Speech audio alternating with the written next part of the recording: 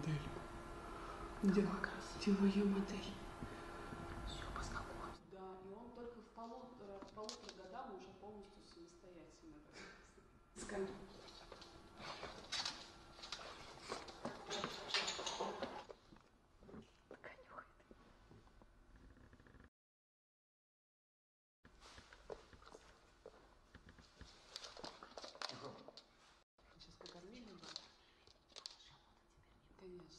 Просто не станет ничего делать.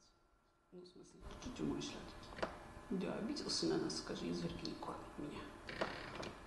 Сделал. Первые, наверное, секунды, когда я его на руки взяла, стало страшно. А что с ним делать? А потом ничего, приехали домой. Ну, у нас есть прекрасный учитель, который нам всегда поможет и подскажет. Это наш зоотехник Софа. Без нее бы, конечно, ну, вообще, в принципе, это уникальная история э, взрастить трехмесячного выброшенного малыша. Такое бывает редко. Она смогла это сделать, и это правда чую, то, что она сотворила.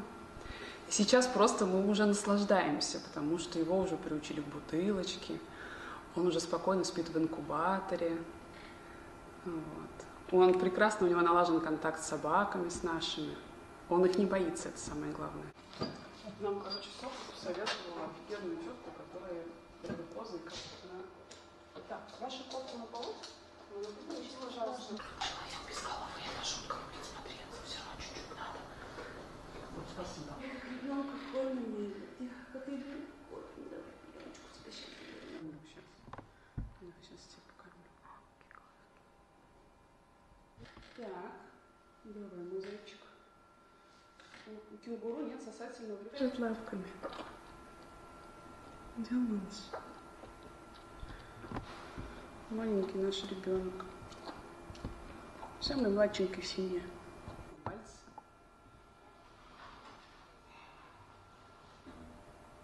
Давай. Конечно. Так это будет намного и быстрее.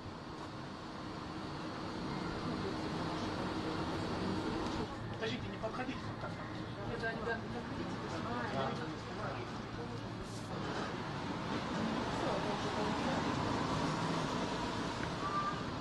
Мама, к сожалению, у нас э, э, оказалась нерадивая очень, э, бросила детеныша, ему было примерно от рождения своего где-то четыре с половиной, пятый месяц шел.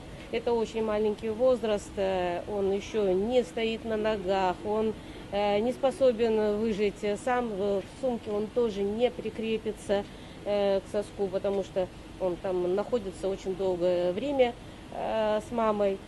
И, конечно, она его э, не примет обратно. Вот. Мы вовремя увидели, что вот он э, потерялся из сумки, забрали, вот, и уже несколько месяцев выращиваем. Опасно было, конечно, первую неделю, потому что он погибнуть мог в любой момент из-за того, что э, не принял организм другое молоко. Вот. Это во-первых. Во-вторых, э, ему, конечно, грозило переохлаждение.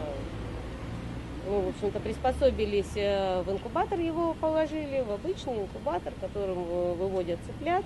Вот, настроила я температуру нужную. И, конечно, кормление каждые два с половиной-три часа днем и ночью. Это обязательно. То есть вот три месяца мы его выхаживаем. Ну, чтобы завернуться туда. Ну, игру он здоровый? Сумку ищет, да. Не точно, а